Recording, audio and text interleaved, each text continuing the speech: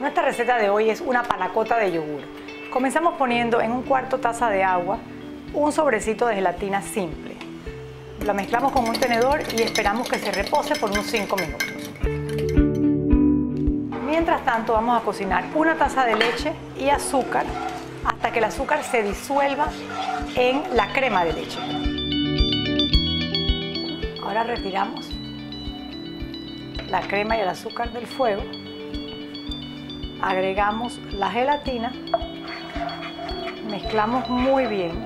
Vamos a mezclar media taza de crema, el yogur y la vainilla.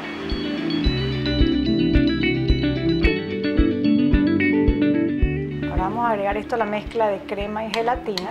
Con un batidor manual mezclamos bien. Ahora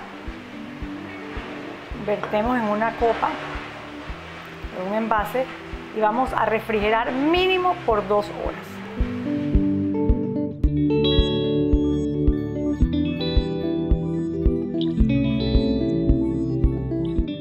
Al momento de servir me gusta acompañarlo con frutas, con miel o le puede poner mermelada. Yo le voy a poner aquí uchuvas frescas y un toquecito de miel de abeja.